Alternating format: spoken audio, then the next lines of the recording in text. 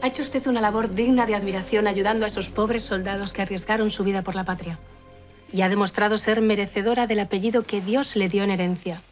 Una Sotelo Ru de los pies a la cabeza, honorable sucesora de su linaje. No merezco tan ilustres palabras, pero se las agradezco enormemente. Sentía la obligación de decirlas, sobre todo después de aquel desafortunado encuentro.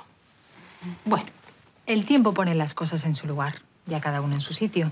Y usted sabe bien que las mujeres con poder que nos abrimos paso solas, a menudo tenemos innumerables enemigos que nos hacen más arduo el camino. Yo no lo habría expresado con más claridad. Su apellido es uno de los grandes de España, como bien sabe usted, Cayetana. Por eso debe honrarlo con su actitud, que ha de ser impecable. Siempre. Eso intento, sin descanso. No puede permitirse volver a perder el poder que, por voluntad divina, se les dio a todos los de su linaje. En eso estamos totalmente de acuerdo, Su Majestad. Puede contar conmigo si lo necesita. Un honor que diga usted eso. Creo que debemos ayudarnos. Como usted bien dice, somos mujeres que han de moverse en un mundo de hombres. ¿Ha pensado en honrar también la memoria de su esposo fallecido? ¿Honrarle? ¿A qué se refiere usted? Las dos debemos mucho a nuestros esposos, ¿no cree? Su marido era un hombre bondadoso, dedicado a erradicar la enfermedad de este mundo, ayudar al prójimo desinteresadamente. ¿No cree que podría abrir una fundación para ayudar a los más desfavorecidos, igual que ha hecho con los soldados? ¿Una fundación? Un patronato que llevase el apellido de su esposo, para honrarlo, como bien merece un hombre de tales características. Me parece una idea brillante, digna de una mente privilegiada y de un corazón de oro, si me permite usted el halago. Se lo permito. Piénselo. ¿A qué esa cara de desazón? ¿Vienes de la obra? Ajá. ¿Y? ¿Qué ha ocurrido? ¿Has hablado con tus amigos? Pues no, ¿Y eso por qué? porque no estaban, doña Trini. Los han puesto a todos de patitas en la calle. ¿A todos? Ni uno de ellos queda. Todos los que allí estaban faenando son nuevos. ¿Pero y quién les ha echado? Pues al parecer un nuevo contratista. Un tal Iborra. Un ingeniero del que no había oído hablar nunca. Que no tengo ni idea de dónde habrá salido. Ese hombre debe ser alguien de confianza de Doña Lourdes. ¿Su cómplice quizá? ¿Y por qué debe de haber echado a todo el mundo? Supongo que no querrá tener en la obra a nadie que no sea de su confianza. Ya. Entonces eso significa que ahí hay algo que están ocultando. Hombre, doña Trini, lo que hay es dinero. Un dinero que ya se está llevando a espaldas de don Ramón.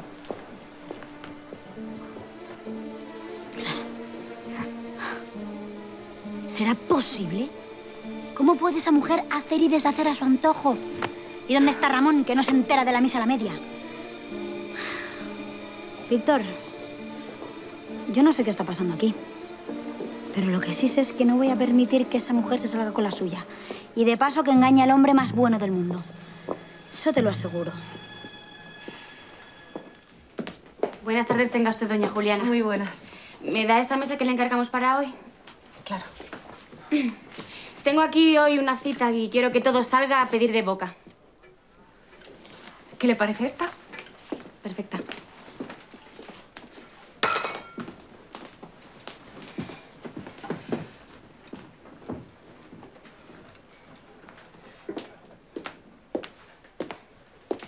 ¿Quieres tomar algo? Claro. ¿O crees que he venido a ver tu cara? Ya sé a lo que has venido. Has dado una voz que se entera hasta el sordo de la calle del Olmo. ¿Y qué sucede? ¿Te molesta que tenga una cita? Ni lo más mínimo. No temas, que no tiene nada que ver contigo. Él es todo un hombre. De los pies a la cabeza. ¿Y qué pasa? ¿Que sales con otra cosa que no sean hombres? Antes, con niños y traidores, pero ya no. Es ingeniero, ¿sabes? Manuel Iborra se llama. ¿Qué has dicho, Iborra? ¿Qué pasa? ¿Le conoces? No.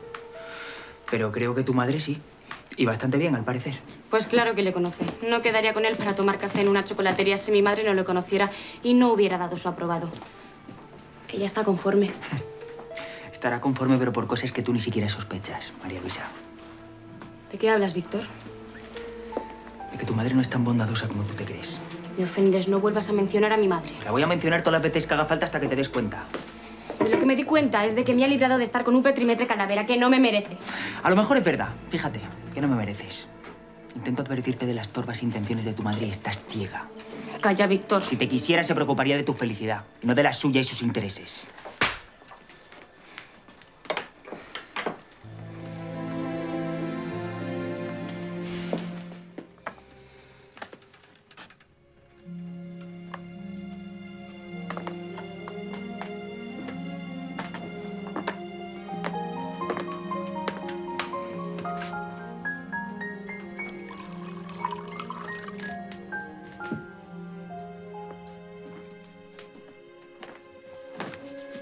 ¿Se encuentra mejor?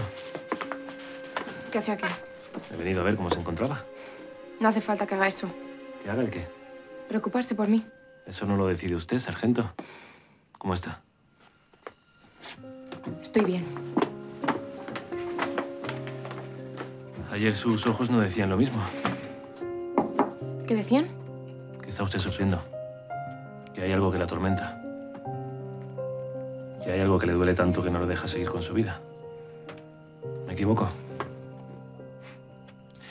No le voy a engañar, no se me da bien hablar. Pero sé escuchar. Quizá podría contarme todo eso que le está pasando por la cabeza. Creo que mejor no. No tengo nada mejor que hacer, se lo aseguro. Bueno. Ya no la molesto más. Si quiere algo, ya sabe dónde estoy. Espere.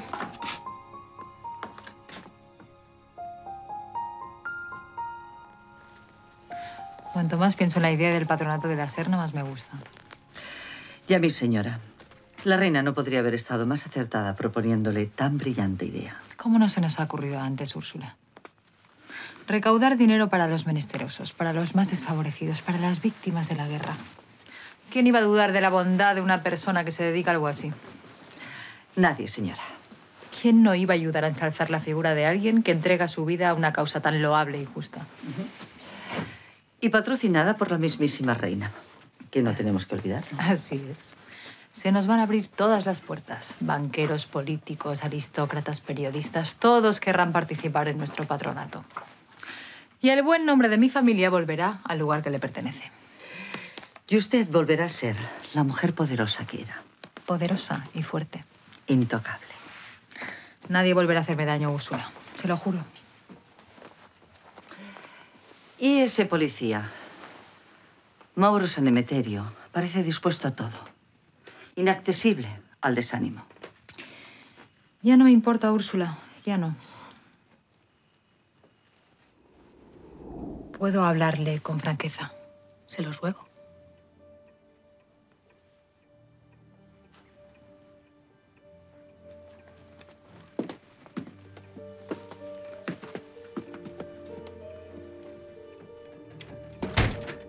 Se trata de un inspector de policía, don Mauro Sanemeterio. No sé qué oscuros pensamientos alberga ese hombre en su cabeza, pero parece dispuesto a acabar con mi precaria felicidad después de, de todo lo que he sufrido. Y verá usted, tiene el poder suficiente para hacerlo si así se lo propone. Dígame qué ha hecho ese hombre y veré lo que puedo hacer. Don Mauro Sanemeterio dio pábulo a unos rumores malintencionados sobre mi persona. El asunto fue a más y me retuvo en una celda para arrancarme la confesión de un atroz crimen que yo no había cometido, como así se pudo demostrar cuando se exhumaron los cadáveres de, de mi marido y de esa mujerzuela, Manuela Manzano. Se descubrió entonces que no se encontraban en sus tumbas. Pero a pesar de haber demostrado mi inocencia, ese policía no deja de acosarme con métodos muy poco ortodoxos. ¿Cómo? ¿Y con qué fin? Su Majestad sabrá que los hombres de ley a veces se ven forzados por sus superiores a esclarecer los crímenes cometidos. Y tal vez por eso me esté acusando a la desesperada. Sería impropio de un buen policía. Pero también sería algo creíble. Si así se lo propone, que parece dispuesto a ello, es capaz de inventarse acusaciones falsas que me incriminen para cerrar el caso. Y le parecerá a usted horrible, pero creo que el siguiente paso será extorsionarme por dinero. ¿Eso lo explicaría todo? quiere sacar partido de su buena posición. Verá, sabe usted que nunca me atrevería a pedirle nada. Pero si usted pudiera hacer algo para apartar a ese inspector de sus funciones. Lo sé. Sé que tal vez es una medida un tanto excesiva. Si es así, me conformaría con que Mauro Sanemeterio se apartara de mí.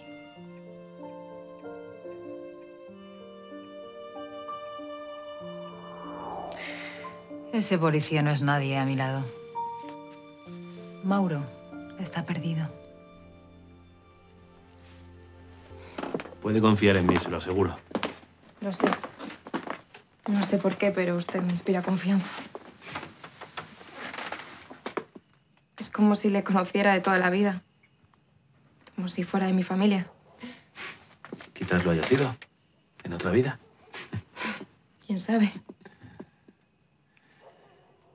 ¿Cuáles son esos recuerdos que tanto le atormentan? No he tenido una vida fácil, Mauro. ¿Sabe cómo se vive en un hospicio? Dormíamos en camastros húmedos, que hacía que se te congelaran los huesos en invierno. Hasta el alma se te congelaba en aquel lugar. Las niñas caían como moscas por las fiebres. Y rezábamos para que no fuéramos una de nosotras. Para que Dios te permitiera llegar hasta la primavera y que el sol te calentara la piel. Eso es lo que pedíamos como regalo de Navidad. Una primavera más. Pero Dios era tan inmisericorde con nosotras que no todas lo lograban. ¿Sabe a cuántas amigas he visto morir? ¿Sabe a cuántas he visto en fosas, cubiertas de tierra? Aunque sobrevivir no era lo mejor. Apenas nada que llevarse a la boca. Hambre al despertarse, hambre al acostarse, hambre constante. Sé de lo que habla. Es un infierno. Las tripas te rugen como leones. Me alimentaba de libros. Viejos y rasgados, pero aún leíbles.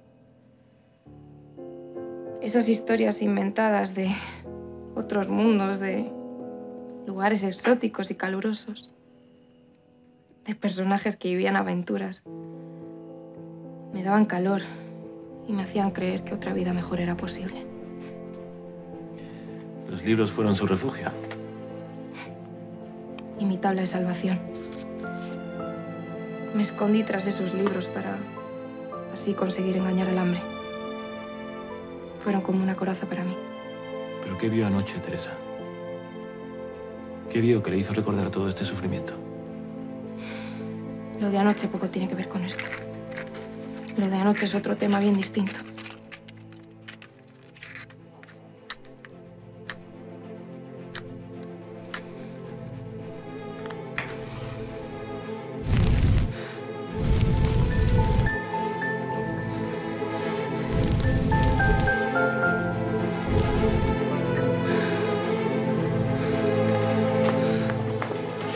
Tranquila.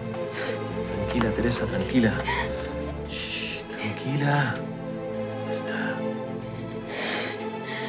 Está. Estoy aquí, Teresa.